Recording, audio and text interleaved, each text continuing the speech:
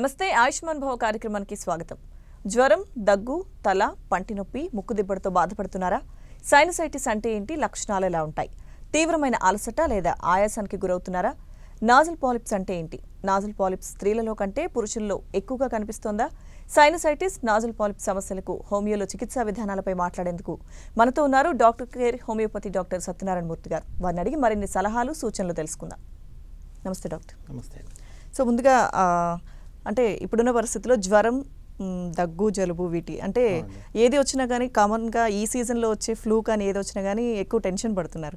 So లక్షణాలు అవి ఇవి ఏ విధంగా ఉంటాయి అంటారు? తరచూ ఎందుకు వస్తుంది? Right okay. యాక్చువల్గా జనరల్గా ఫ్లూ అనేటువంటి సిమ్టమ్స్ అలానే ఉంటుందండి. అంటే మొదటగా కొంచెం జ్వరం చేసినట్టు అనిపించడం తర్వాత జలుబులాగా అనిపించడం కొంతమందిలో కాఫ్ లాగా కూడా కనిపించడం థర్డ్ డే ఫోర్త్ డేకి ఉంటుంది. హెడేక్ అనేది హెడేక్ కూడా. ఉంటుంది దానివల్ల. ఎందుకంటే నాజల్ కంజెషన్ ఉంటుంది కాబట్టి. సో అయితే ఏంటంటే ఇప్పుడు ఇది కరోనా రావడంతో ప్రతి ఒక్కరికి అదొక భయం పట్టుకుంది. వచ్చినది కరోనా ఉంటుందా లేదా అనేది. సో ఏంటంటే టు బీ ఫ్రాంక్ చెప్పాలి అని అంటే కనుక ఈ కరోనా అనేటువంటి వైరస్ మామూలుగా ఇంతకుముందు వచ్చేటువంటి ఫ్లూ కంటే కూడా చాలా వీక్. కాబట్టి ఎక్కువ కంగారు పడాల్సిన అవసరం లేదు ఫస్ట్ పాయింట్ ఇది. తర్వాత రెండో పాయింట్ ఏంటంటే ఎక్కువగా కరోనాలో తర్వాత సిమ్టమ్స్ ఎక్కువగా ఉంటాయి. అంటే కాఫ్ కోల్డ్ ఫీవర్ కంటే కూడా ఎక్కువగా తలనొప్పి రావడం లేదా కొంచెం ఎస్పెషల్లీ లాసిట్యూడ్ అంటారు. అంటే కొంచెం వీక్నెస్గా ఉండడం త్రీ ఆర్ ఫోర్ డేస్ తర్వాత లోపలగా డిస్కంఫర్ట్గా ఫీల్ అవుతుండడం ఇలాంటివి ఉంటాయి. మన కాఫ్ అండ్ కోల్డ్ ఏమవుతుందంటే మనకు అపటైట్ ఉంటుంది బట్ దీంట్లో అపటైట్ ఉండదు. అంటే ఆకలి తక్కువగా ఉంటుంది. సో ఇలా కొన్ని సిమ్టమ్స్లో మనం ఇది మామూలు ఫ్లూనా లేకపోతే కరోనాకు సంబంధించినటువంటిది అనేది మనం నిర్ధారణ చేసుకోవడం జరుగుతుంది. ముఖ్యంగా మూడోది ఏంటంటే కనుక సైనసైటిస్ సైనసైటిస్లో ఈ క్రానిక్ సైనసైటిస్లో ఫీవర్ ఎప్పుడూ ఉండదు. సో ఆల్రెడీ ఇంతకుముందు నుంచి వాళ్ళకు జలుబు లాంటిది. ప్రతి సీజనల్గా మార్పులు కానీ లేకపోతే వాళ్ళు ఏదైనా ఎక్స్పోజర్ కావడం వల్ల వచ్చేటువంటి వాళ్ళల్లో వాళ్ళు కంగారు పడాల్సిన అవసరం అవసరమే లేదు. ఎందుకంటే కనుక అది రెగ్యులర్గా వాళ్ళకు ఉన్నదే కాబట్టి వాళ్ళు దానికి తగినటువంటి ట్రీట్మెంట్ వాడడమో లేకపోతే బాడీలో దానికి సంబంధించినటువంటి ఇమ్యూనిటీ ఉండడం వల్ల వాళ్ళ కరోనా ఎక్స్పోజర్ అనేది చాలా తక్కువగా ఉంటుంది. సో ఇలా డిఫరెంట్ కేటగిరీస్లో మనం అనుకుంటే కనుక ఇది అక్యూట్లో వచ్చినటువంటి ఫ్లూ లాంటిదా లేకపోతే కరోనాకు సంబంధించిందా క్రానిక్ సైనసైటిస్కి సంబంధించింది అనేటువంటి చిన్న లక్షణాలు మనం బేరీ చేసుకోవడంలో చూసుకుంటే సరిపోతుందండి. Okay doctor. కాలర్ ఉన్నారు. హైదరాబాద్ నుంచి జితేందర్ రెడ్డి గారు. హలో అండి. హలో. నమస్తే అండి. డాక్టర్ సత్యనారాయణ మూర్తి గారు ఉన్నారు. మాట్లాడండి. Okay madam. హలో. నమస్తే. చెప్పండి జితేందర్ రెడ్డి గారు. సార్ నమస్కారం సార్. నమస్తే అండి. సార్ నాకు శానిటైజ్ ప్రాబ్లం ఉంది sir. Okay. Eight eight years seven years అవుతుంది సార్. ఆల్రెడీ నేను సర్జరీ కూడా చేయించుకున్నా. ఓకే. సర్జరీ కూడా చేయించుకున్నా కానీ ఆయన కూడా మళ్ళా శ్వాస శ్వాస ఆడకుండా గురుక ప్రాబ్లం శ్వాస ఆడకుండా ఓకే. చాలా సఫర్ అవుతున్నా సార్. ఓకే. నేను శ్వాస ఆడలేదు చలికాలం వానాకాలం వస్తే ఓకే. ఒక్కొక్కసారి శ్వాస ఆగిపోయినట్టు అవును. నెప్లెక్చర్ పెట్టుకుంటేనే అప్పుడు శ్వాస క్లియర్ ఆడుతుంది సార్. అవునండి. గురుక ప్రాబ్లం చాలా వస్తున్నది. ఆయాసం వస్తున్నది. ఓకే. ఇప్పుడు ఇది కరోనా ఉంది కదా సార్ దీని వల్ల ఏమైనా ఎఫెక్ట్ ఉంటుందా సార్? ఓకే. మీరేం చేస్తుంటారు జితేందర్ రెడ్డి గారు?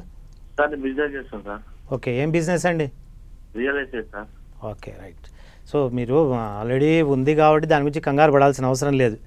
సో ఏంటంటే కనుక మీరు దానికి సంబంధించినటువంటి ట్రీట్మెంట్ వాడుతూ ఉంటారు. యాంటీబయాటిక్స్ కానీ యాంటీస్టామిన్స్ కానీ హోమియోపతులు కానీ ఏదో ఒక దాంట్లో వాడుతూ ఉంటారు. బట్ ముఖ్యంగా మీరు చెప్పింది ఏంటంటే ఈ సర్జరీ చేయించుకున్నాను అని అన్నారు. సైనసైటిస్కి జనరల్గా ఇది సర్జరీ అన్నారండి. ఒక రకంగా చెప్పాలంటే టెక్నికల్గా వర్డ్ ఏంటంటే వాష్ చేయడం. అంటే లోపల ఉన్నటువంటి తెమ్మడ ఉంటుంది చూసారా? ఆ తెమ్మడని తీసేసేయడం. సో యాంట్రల్ వాష్ అంటారు దాన్ని. సో లోపల అంటే మ్యాక్సిలరీలో కాదు బట్ ఫ్రంట్లో కళ్ళ దగ్గర ఉన్నటువంటి తెమ్మడ ఉంటే కనుక దాన్ని తీసేయడం జరుగుతూ ఉంటుంది. ఇంకొంతమంది కేసులలో పాలిప్ లాంటివి ఏమైనా రైజ్ అయి ఉంటే కనుక వాటిని ఆపరేషన్ చేసి తీయడం జరుగుతూ ఉంటుంది. సో ఈ వాష్ అనేది ఎలా ఉంటుంది మనం రెగ్యులర్గా మనం ఏదైనా చేసుకుంటే మళ్ళీ దుమ్ము దట్టి పడితే మళ్ళీ మనం శుభ్రం చేసుకోవాలి. అలానే ఉంటుంది. సో మీకు ఏంటంటే కనుక సో మీరు రియల్ ఎస్టేట్ బిజినెస్ చేస్తూ ఉంటున్నారు. కొంచెం దాని గురించి ఫీల్డ్లో కూడా తిరగాల్సిన అవసరం ఎక్కువగా ఉంటుంది. సో మీరు ఇట్లాంటి ఎక్స్పోజర్ ఎక్కువగా ఉంటుంది అండ్ సీజనల్గా ఉంటుంది. సో ఇట్లాంటినే ఏమంటారంటే కనుక మీకు ఇండివిజువల్ రెసిస్టెన్స్ పవర్ తక్కువగా ఉంటుంది. సో ఇలాంటి వాటిల్లో హోమియోపతి వైద్య విధానం చాలా చక్కగా పనిచేస్తుందండి. ఎందుకంటే మనము ఇండివిజువల్గా మనిషికి మనిషికి బట్టి ట్రీట్మెంట్ ఇస్తూ ఉంటాం కాబట్టి. అండ్ మీరు ఈ కరోనా గురించి టెన్షన్ పడాల్సిన అవసరం లేదు. ఎందుకంటే మోస్ట్ ఆఫ్ ది కేసెస్లో అంటే మేము ఇప్పుడు హోమియోపతిలో ట్రీట్మెంట్ ఇస్తున్నప్పుడు చాలామంది పేషెంట్లు గమనిస్తూ ఉన్నది ఏంటంటే కనుక వాళ్ళు ఆ ట్రీట్మెంట్ వాడుతుంటారు కాబట్టి ఆల్రెడీ వాళ్ళకి ఇన్హెరిటెడ్గా కొంచెం ఇమ్యూనిటీ పవర్ ఉంటుంది. సో మీరు దగ్గరలో ఉన్నటువంటి డాక్టర్ కేర్ను సంప్రదిస్తే మీకు చాలా కాలంగా ఈ సెవెన్ ఇయర్స్ ఉన్నటువంటి ఈ ప్రాబ్లం తగ్గడమే కాకుండా ఈ కరోనా గురించి కూడా టెన్షన్ తగ్గుతుందండి మీకు. ఓకే డాక్టర్ ఇప్పుడు కాలర్ కూడా చెప్పినట్టు సైనసైటిస్ చాలా మందికి ఉంది. మనం అంతకు ముందు కూడా మాట్లాడాం చాలా మంది పేషెంట్స్తో కూడా. ఈ సైనసైటిస్ ఉన్న వాళ్ళకి లక్షణాలు ఏ విధంగా ఉంటాయి? అది ఏ వయసు వరకు వచ్చినా కానీ ఎటువంటి లక్షణాలు ఉంటాయి అంటారు రైట్ ఓకే. ఇది ఫస్ట్లో యాక్చువల్గా ఎలా ఉంటుందంటే మనకు వన్ ఆర్ టూ టైమ్స్ కనపడుతూ ఉంటుంది.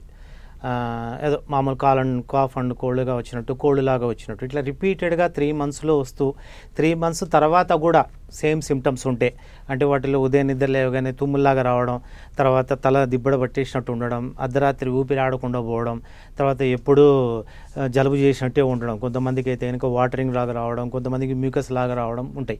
సో ఈ లక్షణాలను మనం క్రానిక్ సైనసైటిస్ అంటాం. దీనికి పెద్దగా టెస్ట్లు ఏం పనిలేదండి సిటీ స్కాన్లు ఏం పనిలేదు జస్ట్ అంటే కొంతమందిలో ఏ విధంగా ఉంది ఎంత ఉంది అన్నటువంటి తెమ్మడాన్ని టెస్ట్ చేసుకోవడానికి ఎక్స్రే లాగా తీస్తే సరిపోతుంటుంది. ఈరోజు రేపట్లో కరోనా గురించి కూడా చాలామంది టెన్షన్ పడుతూ అన్ని సిటీ స్కాన్లు అన్నీ చేసుకుంటున్నారు. సో కరోనా వచ్చినా కూడా జస్ట్ ఒక సింపుల్ ఎక్స్రే సరిపోతుంది మన బాడీలో. సింపుల్ ఎక్స్రే తీసుకోవడం వల్ల మనకు న్యూమోనియా ఉందా లేదా అని తెలుస్తుంది కాబట్టి దాన్ని బట్టి మనం ప్లాన్ చేసేసుకోవచ్చు. సో ఇలాంటి విషయాలు కూడా ఎక్కువ టెస్టింగ్ ఏం అవసరం లేదండి.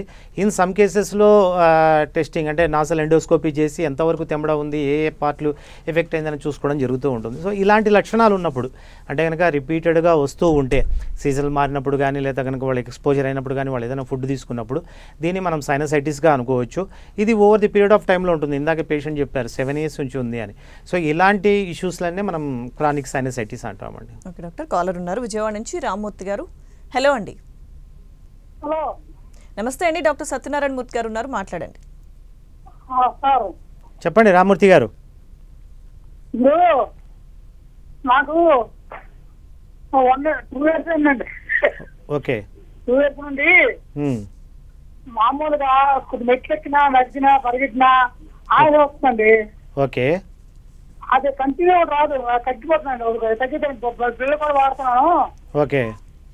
పోతే రీసెంట్గా ఇప్పుడు వన్ మంత్ నుండి ఓకే. ఎక్కినా నడిచినా కొద్ది ఆయాస వస్తుందండి. ఓకే. అది ప్ర- ప్రస్తుతం ప్రాబ్లం అదే నాకు. ఓకే. రామూర్తి గారు మీ వయసు ఎంత ఉంటుంది? వయసు అరవై అండి. ఓకే. అదే మీరు చెప్పినట్లు ఇవి అస్తమా అనేటువంటిది చాలా దానిలో కనపడుతూ ఉంటుంది అంటే మీరు ఇప్పుడు మెట్లు ఎక్కితే కిందికి రావడం ఇవి టూ రీజన్స్లో ఉంటాయి. అంటే ఊపిరితిత్తులకు సంబంధించింది లేదా కార్డియోకి సంబంధించింది. అందుకని మనం ఏదైనా టెస్ట్ చేయడానికి పోతే కనుక మనకి ట్రెడ్మిల్ ఇవన్నీ చేస్తూ ఉంటారంటే మనకి ఎంత కెపాసిటీ ఉంది హార్ట్ అని మన ఎక్సర్షన్లో హార్ట్ కెపాసిటీ ఎంతవరకు ఉందనేది తెలుస్తూ ఉంటుంది. అలానే మోస్ట్ ఆఫ్ ది కేసెస్లో ఇప్పుడు మీరు చెప్పినట్టు ఎక్కాలన్నా కానీ దిగాలన్నా కానీ ఆయాసం వచ్చినట్టు ఉంటుంది. సో మీకు ఏదైనా రీజన్ కావచ్చు ఈ ఆయాసం అనేది. అంటే మీకు చాలా కాలంలో ఉంది. ఎందుకు వస్తుంది ఆయాసం అంటే లంగ్ రిజర్వ్ తగ్గడం వల్ల వస్తుంది. లంగ్ రిజర్వ్ ఎందుకు తగ్గుతుంది? లంగ్ రిజర్వ్ అంటే ఏందో? ఒక కెపాసిటీ. కెపాసిటీ కెపాసిటీ తగ్గడం వల్ల ఎందుకు తగ్గుతుంది? అంటే ఓవర్ ది పీరియడ్ ఆఫ్ టైంలో ఇలాంటి అలర్జీస్ ఉన్నప్పుడు అంటే ముక్కుకు సంబంధించిన కానీ దీని అంతా అప్పర్ రెస్పిరేటరీ ట్రాక్ట్ ఇన్ఫెక్షన్ అంటారు. ఇలాంటి వాటిలో ఏమవుతుందంటే తెమ్మడ బెరుకుని పోతుందండి అవయవాలలో అంతా మనకి ఊపిరితిత్తులు అంతా తెమ్మడ బెరుకుపోవడం వల్ల అక్కడికి ఆక్సిజన్ చేరదు. ఆక్సిజన్ చేరకపోవడం వల్ల మనకి ఏమవుతుందంటే బ్రీత్ తీసుకోవడం తక్కువగా ఉంటుంది. అది కూడా ఎక్కువగా ఎక్సర్సైజ్ చేసినప్పుడు. మీరు కంగారేం లేదు మీరు విజయవాడలో ఉంటా అంటున్నారు. సో మీ ఏజ్కు సంబంధించి కూడా కొంచెం ప్రాబ్లమ్స్ ఉంటాయి. సో మీ దగ్గరలో ఉన్నటువంటి డాక్టర్ కేర్ను సంప్రదిస్తే శాశ్వత నివారణ ఉంటుందండి. నెక్స్ట్ వైజాగ్ నుంచి శ్రీనివాస్ గారు కాల్ చేస్తున్నారు. హలో అండి. హలో. శ్రీనివాస్ గారు నమస్తే అండి. డాక్టర్ సత్యనారాయణ మూర్తి గారు ఉన్నారు. మాట్లాడండి. Okay madam. సార్ నమస్తే సార్. నమస్తే చెప్పండి శ్రీనివాస్ గారు. సార్ నాకు త్రీ ఒక మూడో నెలల నుండి జలుబు ఉన్నది సార్. ఓకే. ఆ జలుబు తగ్గట్లేదు సార్. ఎన్ని మాత్రలు వాడినా ఏమైనా. ఓకే. మూడు సార్లు ఈఎన్టీ డాక్టర్ దగ్గరికి వెళ్ళాను సార్. ఓకే. ఏదో అలా లైట్గా తగ్గిపోతుంది కానీ పూర్తిగా తగ్గట్లేదు సార్ జలుబు. ఓకే. అంటే దానికి ఏంటి కారణం ఏంటో కూడా తెలియట్లేదు సార్. రైట్. అదే శ్రీనివాస్ గారు మీరు చెప్పినట్టు ఇప్పుడు మోర్ దాన్ త్రీ మంత్స్ ఉందంటే అది క్రానిక్ సైనసైటిస్ అండి. దీనికి యాంటీ హిస్టామిన్స్ కానీ యాంటీబయాటిక్స్ కానీ పెద్దగా వర్క్ చేయవు. ఎందుకంటే కనుక లోపల ఉన్నటువంటి యాంటీబయాటిక్స్ అనేవి లోపల ఉన్నటువంటి తెమడను బయట తీసుకోవడానికి అప్ టు సమ్ ఎక్స్టెంట్ పనిచేస్తుంటాయి బట్ ఏంటంటే ఇండివిజువల్ అంటే హోమియోపతి మీకు ఎందుకు డిఫరెంట్గా మిగతా వాటిల్లో అంటే కనుక మనము ఒక్కొక్క మనిషికి ఒక డిఫరెంట్గా ఉంటాయి మెడిసిన్స్. సో మీరు ఆ రోగ లక్షణాలు ఏ ఉన్నాయి అనేది ఇప్పుడు మీరు చెప్పారు కొంతమందికి ఏంటంటే అది ఉన్నా కానీ కొంచెం తినే విషయంలో కొంతమంది వేడి తీసుకోవాలనుకుంటారు కొంతమంది చలి తీసుకోవాలనుకుంటారు కొంతమందికి పడుకుంటే బాగుంటుంది కొంతమందికి లేస్తే బాగుంటుంది. ఇలా డిఫరెంట్ డిఫరెంట్ లక్షణాలు ఉంటాయి. ఇలాంటి లక్షణాలను తీసుకుంటూ మీరు చేసేటువంటి వృత్తిపరంగా కానీ మీరు ఉండేటువంటి ప్లేస్ బట్టి కానీ ఇవన్నీ ఉంటాయి అన్నమాట సో వీటిని క్రోడీకరించి తీసుకొని హోమియోపతిలో ట్రీట్మెంట్ ఇవ్వడం జరుగుతూ ఉంటుంది. సో మీరు ఏంటంటే త్రీ మంత్స్ మోర్ దాన్ ఉంది కాబట్టి యాంటీవిస్టామిన్స్ వాడితే పెద్దగా ప్రయోజనం ఏమి ఉండదండి. మీరు దగ్గరలో ఉన్నటువంటి డాక్టర్ విశాఖపట్నంలో ఉన్నా అంటున్నారు. మనది అక్కడ డాక్టర్ కేర్ హోమియోపతి ఉంది. అక్కడ మీరు సంప్రదిస్తే కనుక మీకు శాశ్వత నివారణ ఉంటుందండి. ఓకే అండి నెక్స్ట్ ఒంగోలు నుంచి చిరంజీవి గారు కాల్ చేస్తున్నారు. హలో అండి. హలో. Okay doctor. సో అంటే ఇందాక ఒక పేషెంట్ ఒక కాలర్ చెప్పారు మనకు. ఆయాసం అది ఎక్కువ వస్తుందంటే. అంటే ఏజ్ ఫ్యాక్టర్ అనేది పక్కన పెడితే కొంచెం చిన్న వయసులో ఉన్న వాళ్ళకి కూడా త్వరగా అలసిపోవటం ఒకటి ఆయాసం అనేది ఎక్కువగా రావడం అనేది ఇవి ఎందుకు జరుగుతాయంటారు? రైట్ యాక్చువల్గా ఇప్పుడు ఇవన్నీ ఎందుకు జరుగుతున్నాయి?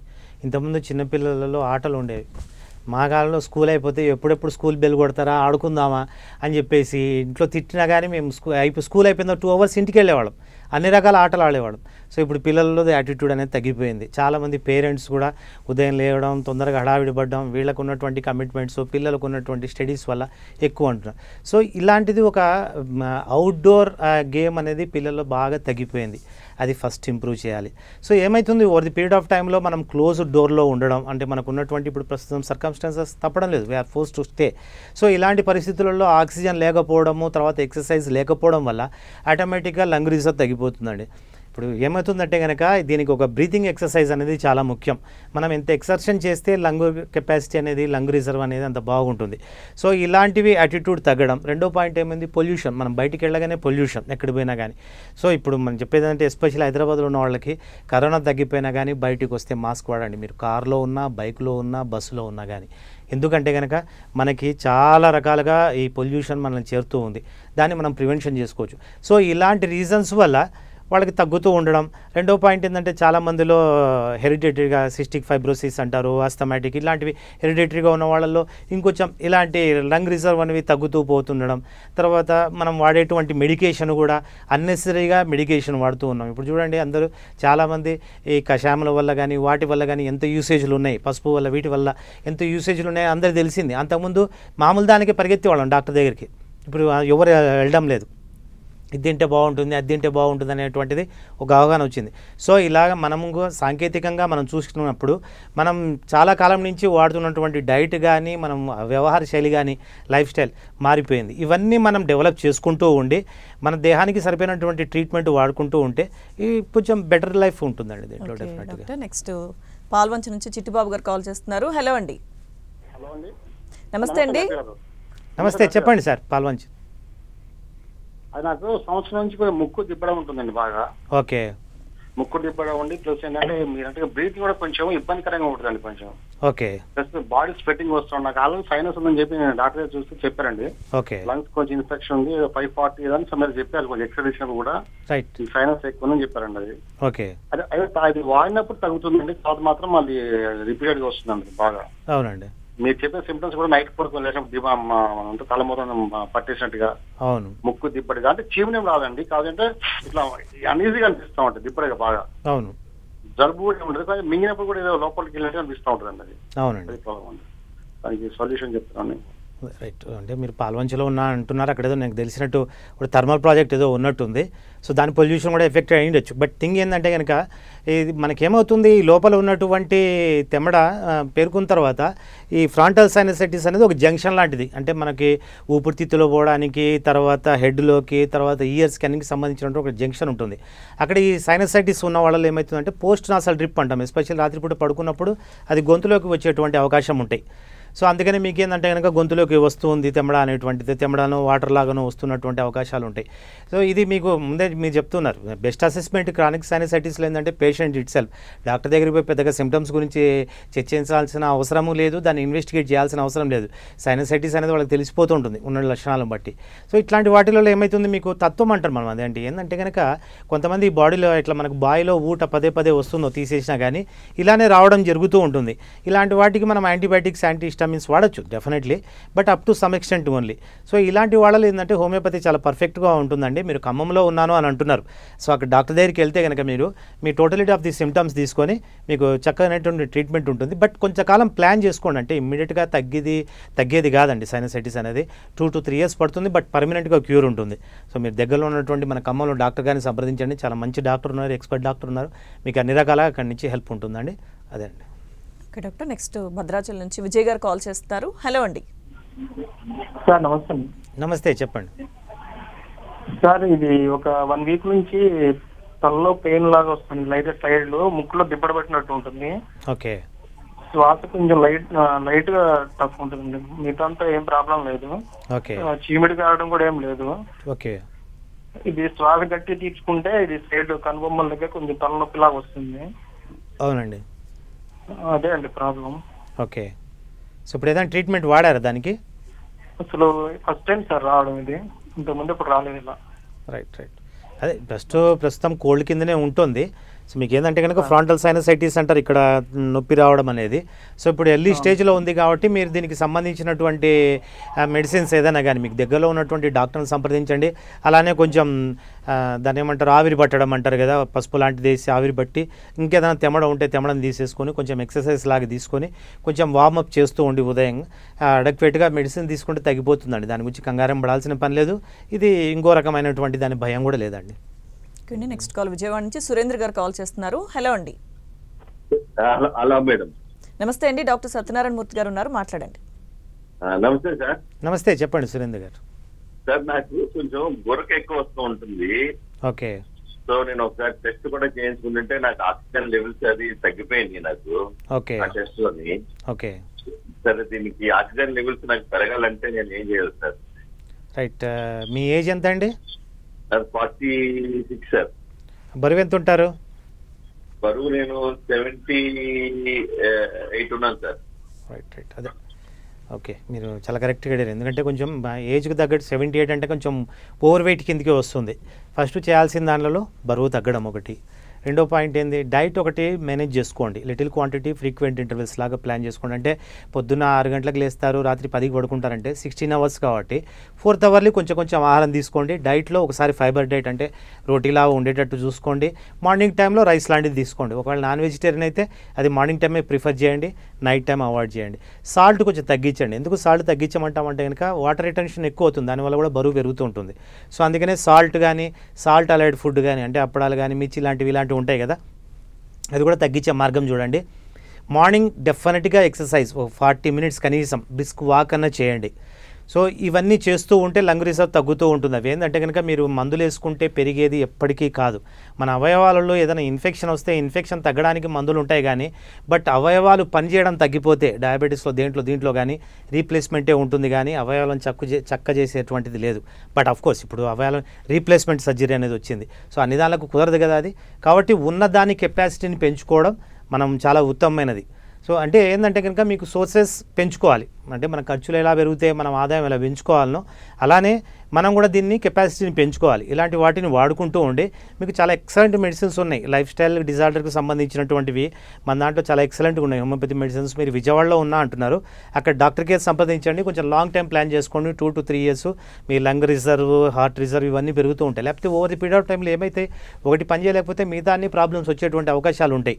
ఎప్పుడైతే లంగ్స్ ప్రాబ్లం వచ్చిందో దాని మధ్యలో ఉన్నటువంటి హార్ట్ మీద కూడా ఒత్తిడి పెరుగుతుంది. సో ఇవన్నీ మీరు గమనించాలి. అందుకనే మీరు కొంచెం వెయిట్ తగ్గడానికి ఇవన్నీ పాటిస్తూ ఉండి దగ్గరలో ఉన్నటువంటి డాక్టర్ గారిని సంప్రదించండి. ఆ మెడిసిన్స్ వాడుకుంటే చాలా ఎక్సలెంట్ రిజల్ట్ ఉంటుందండి. ఒక డాక్టర్ నెక్స్ట్ హైదరాబాద్ నుంచి జీవామృత కాల్ చేస్తున్నారు. హలో అండి. హలో హలో హలో నమస్తే. నమస్తే అండి. డాక్టర్ సత్యనారాయణ మూర్తి గారు ఉన్నారు. అడగండి. సరేనండి థ్యాంక్ యూ హలో సార్ చెప్పండి మేడం. సార్ చెప్పండి. ఆ, జీవామృత గారు టీవీ వాల్యూమ్ మ్యూట్ చేసి డాక్టర్ గారితో మాట్లాడండి. ఓకే అండి. సార్ నేను నైన్టీన్ సెవెంటీ సిక్స్లో నాకు allergic rhinitis was in Libya that time ఆ క్లైమేట్ పడక వచ్చింది సార్. సెవెంటీ సెవెన్లో నేను అపోలో హాస్పిటల్ మద్రాసు వెళ్ళినప్పుడు అక్కడ ప్రతాప్ రెడ్డి గారు అప్పుడు చూశారు నన్ను. ఓకే. చూసి స్కిన్ టెస్ట్ చేసిన తర్వాత ఫుడ్ అలర్జీ ఉందమ్మా డ్రై క్లైమేట్ అని పడుతుంది అని చెప్పారు సార్. ఓకే. అప్పటి నుంచి నాకు మళ్ళా హైదరాబాద్లో సెటిల్ అయ్యాను బికాస్ ఆఫ్ దాట్. అప్పుడు నాకు ఇక్కడ అపోలో హాస్పిటల్ మళ్ళీ డాక్టర్ గారు చూసి Hmm. నీకు హైడ్రోకార్టిజోన్ రోటా హేలర్ ఎప్పుడైనా మీకు కాఫ్ వచ్చినప్పుడు చేయండి అని అన్నారు. నాకు వీజింగ్ వస్తుంది ఎప్పుడైనా అలర్జీ ఉంటే. బట్ దిస్ ఇయర్ లేదండి అందుకని హైడ్రోకార్టిజన్ అవి వాడలేదండి నేను బట్ ఐఎమ్ ఆల్ రైట్ ఉంది. ఎప్పుడన్నా నాకు అలర్జీ ఫుడ్ తింటే మళ్ళా స్నీజింగ్స్ వస్తాయండి. దానికి యాంటీ హిస్టమిన్ వేసుకున్నాను sir. Seventy years old sir. Okay So that's why I just want another ENT doctor has seen and he told me slight nasal deviation is there that's why you can get it repaired అని అన్నారు. కానీ అప్పుడు నాకు భయమై నేను చేయించుకోలేదు sir అది. Okay. అది సజెషన్ కావాలి. నాకు అది చేయించుకోవడం అవసరం అంటారు ఆ ఏజ్లో నాకు. రైట్ కరెక్ట్ క్వశ్చన్ అసలు మీ మీకు నేను సజెషన్ మీ ఇవ్వడం కంటే మీ నుంచి నేను సజెషన్ తీసుకోవడం బాగుంటుందేమో. మీరు సెవెంటీ ఇయర్స్లో కూడా ఒక మీడియాకి ఫోన్ చేయగలిగి మా కాంటాక్ట్ చేయగలిగి మాట్లాడుతున్నారంటే ఇంతకంటే ఎక్సలెంట్ హెల్త్ ఏం కావాలి చెప్పండి ఫస్ట్ పాయింట్. రైట్. ఇంతకుముందు మీకు ఆ ఎక్స్పోజర్ ఉండడం దాని నుంచి అలా ఉండడం మీరు అంటే నైన్టీన్ సెవెంటీ అంటే ఇప్పుడంటే ఆల్మోస్ట్ ఆల్ మీకు అది ఒక బెస్ట్ ఫ్రెండ్ లాగానో ఒక చిన్న పిల్లవాడి లాగానో మీతో పాటు ఉండిపోయింది. సో మీ అకష్టం అయిపోయింది మీ బాడీ. సో దాని గురించి కంగారేం పడలేదు. థర్డ్ పాయింట్ మీరు అన్నారు ఫుడ్ ఏవైతే ఉన్నాయో మనం దాన్ని ఎలిమినేట్ చేయడం బెస్ట్ అండి. ఎప్పుడైనా కానీ మనకి ఏదైతే పడకపోతుందో దాన్ని మనం దేనివల్ల పడలేదు అనేటువంటిది మనం ఒకసారి తరో చూసుకొని అలాంటిది మనం అవాయిడ్ చేయడం ఉంటుంది. థర్డ్ పాయింట్ ఫోర్త్ పాయింట్ ఏంటంటే మీరు డిఎన్ఎస్ అన్న డివేటెడ్ నాసల్ సెప్టం కానీ ఇలాంటి ఆపరేషన్ వల్ల పెద్దగా ఏమీ ఉండదు. అదే రూటా ఇన్హీలర్ రాసిచ్చారన్నారు ఎస్వైఎస్గా వాడుకోవచ్చు. But over thing period of ఏంటంటే కనుక ఇప్పుడు మీకు పెద్దగా ఎటువంటి సర్జరీ కానీ ఎటువంటి మెడిసిన్ కానీ పెద్దగా హెల్ప్ చేయొచ్చు హెల్ప్ చేయకపోవచ్చు. ఎందుకంటే కనుక డిజనరేటివ్ ప్రాసెస్లు ఉన్నారు. కానీ ఈజ్ ఆఫ్ లైఫ్ అనేది ఒకటి చాలా ఇంపార్టెంట్ అంటే మన పనులు మనం చేసుకుంటూ ఉండి మన దైనందిక కార్యక్రమాలలో మనకి ఎటువంటి ప్రాబ్లం రాకుండా ఉండడానికి కొంత సపోర్ట్ అనేది మెడికల్ సపోర్ట్ అనేది అవసరము. ఈ యాంటీ హిస్టామిన్స్ వాడడం వల్ల మీకు పెద్దగా బెనిఫిట్ ఉంది లేదనేది you are the best judge but మన దగ్గర చాలా ఎక్సలెంట్ మెడిసిన్స్ ఉన్నాయండి. మీరు సర్జరీ వద్దనుకొని మామూలు ఏజ్లోనే సర్జరీ వద్దనుకునే వాళ్ళే మన దగ్గరికి వస్తూ ఉంటారు. ఈ సైనసైటిస్ కానీ లేకపోతే చాలాసార్లు సర్జరీ చేసుకుంటే వాళ్ళు కూడా మన దగ్గరికి వస్తూ ఉంటారు. సో మీరు హైదరాబాద్లో ఉన్నా అన్నారు దగ్గరలో ఉన్నటువంటి మన డాక్టర్కి ఏం సంప్రదించండి లేదా మనం కాచిగూడలో కూడా ఉంటాం అక్కడైనా సంప్రదించండి. కొంతకాలం వాడుకుంటే కనుక మీకు ఎటువంటి సర్జరీ లేకుండా దీని నుంచి బయటపడొచ్చండి. డాక్టర్ నెక్స్ట్ గోదావరి ఖని నుంచి శ్రీధర్ గారు మాట్లాడుతున్నారు. హలో అండి. హలో అండి. హలో శ్రీధర్ గారు డాక్టర్ సత్యనారాయణ మూర్తి గారు ఉన్నారు మాట్లాడండి. థ్యాంక్ యూ అండి. డాక్టర్ గారు సార్ చెప్పండి. నా ఏజ్ ఫార్టీ అండి. ఓకే. నాకు నాజల్ పాలిప్స్ ఉన్నాయండి. ఓకే. అంటే మామూలుగా మార్నింగ్ నుంచి ఈవినింగ్ వరకు కొద్దిగా నాసల్ కంజెషన్ ఎప్పుడు కంటిన్యూస్గా నాకు ప్రాబ్లం అవుతా ఉంటది. ఓకే. కొద్దిగా ఎలర్జీస్ ఉన్నాయి. కానీ సైనసైటిస్ ఏం లేదు. ఓకే. సో డాక్టర్ గారు చెప్పింది ఏంటంటే లైఫ్ స్టైల్ చేసుకోవాలి అంటే అలోపతిక్లో లైఫ్ స్టైల్ తప్ప దీనికి పెద్దగా మార్గం ఏం లేదు. సర్జరీ చేసినా కూడా మళ్ళీ రావచ్చు అన్నట్టుగా చెప్పారనమాట ఓకే. సో కొద్దిగా హోమియోపతి కూడా ఒక దగ్గర వాడాను కానీ నాకేం అంటే చేంజ్ అనిపించలేదు నాకు. Right. So what should I do actually? Sure. మీకు నైట్ టైంలో నోస్ బ్లాక్ కానీ ఇట్లా ఏమైనా ఉంటాయండి? హండ్రెడ్ పర్సెంట్ అదే ప్రాబ్లం అండి. దాని వల్ల ఏమవుతుందంటే నాకు మా రాత్రి లేచి మళ్ళీ నాజల్ మొత్తం క్లీన్ చేసేసుకొని మళ్ళీ పడుకోవడం ఇట్లా అవుతున్నాను అవునండి. రైట్ అదే. చెప్పారు. అంతే మనము ఇంతకుముందు కూడా చెప్పుకున్నాం పొల్యూషన్ కూడా వన్ ఆఫ్ ది ఇంపార్టెంట్ మీరు గోదావరి గనిలో ఉన్నా అంటున్నారు. సో అక్కడ కొంచెం ఎలా కానీ మిగతా ఏరియాలతో పోలిస్తే పొల్యూషన్ ఎక్కువనే. That is industry coal industry వల్ల. But the thing is lifestyle కరెక్టే డాక్టర్ గారు చెప్పారు. ఎందుకంటే కనుక ఆ పాలిప్స్ అనేవి ఏంటంటే కనుక అందరికీ ఉంటాయండి. పాలిప్స్ లేకుండా ఎవరు ఉండరు హ్యూమన్ బీయింగ్స్ ఉండరు. అయితే ఏమవుతుందంటే పదే పదే కోల్డ్ చేయడం వల్ల అవి ఏమవుతాయంటే కొంచెం స్వెల్లింగ్ వస్తాయి. ఆ స్వెల్లింగ్ రావడం వల్ల బ్రీతింగ్ ప్రాబ్లం అవుతూ ఉంటుంది. సో దాన్ని తీసేయడం వల్ల అది ఫర్ టైం బీయింగ్ ఓన్లీ అది చేయడం వల్ల. సో ఇప్పుడు మీరేమన్నారంటే దానికి లైఫ్ స్టైల్ అన్నారు. లైఫ్ స్టైల్ చాలా ఇంపార్టెంట్ రెండో పాయింట్ అంటే కనుక మీరు మెడిసిన్స్ వాడాను ఇంతకుముందు హోమియోపతిలో డిఫరెంట్గా లేదు అని అన్నారు. సో ఇక్కడ ఏంటంటే ఒకటి కాన్స్టిట్యూషనల్ రెమెడీ ఇవ్వడం అనేది సంథింగ్ లిటిల్ బిట్ బెట్ అంటే ఒక డిఫరెంట్ కాన్సెప్ట్ హోమియోపతిలో అది అందరూ డాక్టర్లు ఆల్మోస్ట్ ఆల్ తీస్తూ ఉంటారండి ప్రాక్టీస్ చేస్తూ ఉంటారు. థర్డ్ పాయింట్ ఏంటంటే కనుక ఇది యాక్చువల్గా టెక్నికల్ ప్రాబ్లం అంటే సర్జికల్ ప్రాబ్లం దాన్ని పాలిప్ చేయడం అనేది అది కొంచెం కరడానికి కొంచెం టైం పడుతూ ఉంటుంది. సో ఇలాంటి విషయాలలో మీరు ఏంటంటే కనుక మనం కొంచెం ఎమర్జెన్సీ మెడిసిన్ లాగా ఇస్తాం. అంటే మీకు ఎప్పుడైనా శ్వాస ఇబ్బందిగా ఉన్నప్పుడు అది వాడుకుంటే దాన్ని క్లియర్ కావడం లేదా రాత్రి పడుకునేటప్పుడు అది వేసుకుంటే మీకు శ్వాస ప్రాబ్లం రాకుండా ఉంటూ అవి చిన్నగా త కరుగుతూ కరుగుతూ ఉంటాయండి. So that will take one and half year two years ఉంటుంది. కొంచెం ఓపిక పట్టి మీరు ఇది వాడుతూ మీరు ఇంతకుముందు కొన్ని లైఫ్ స్టైల్ చేస్తూ ఉంటా అన్నారు. కొంచెం ఇవన్నీ ఎక్సర్సైజులు యోగా లాంటివి చేస్తూ ఉంటే చాలా బ్యూటిఫుల్గా ఉంటుందండి. దాని గురించి కంగారు ఏం పని లేదు. ఒక నైట్ టైం ఈ యాప్నియా అనేది ఊపిరి ఆగకపోవడమే కొంచెం ప్రాబ్లం ఉంటుంది. అది కూడా మీకు ఆ అటాక్స్ కూడా హోమియోపతి మెడిసిన్ వాడుతూ ఉంటే తగ్గుతూ వస్తూ ఉంటుందండి సో దగ్గరలో ఉన్నటువంటి మీరు గోదావరి కానీ అన్నారు అటు మంచిర్యాల కానీ ఇటు కరీంనగర్ కానీ మన బ్రాంచెస్ ఉన్నాయండి. అక్కడ సంప్రదించండి. శాశ్వత నివారణ ఉంటుందండి.